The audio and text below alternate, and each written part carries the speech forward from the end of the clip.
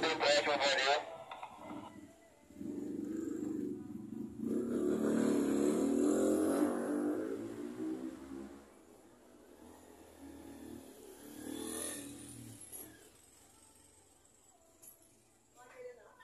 Acho que ele revirou esse aqui porque foi caçando dinheiro, não foi nenhuma coisa. Foi também. Hã? Foi também.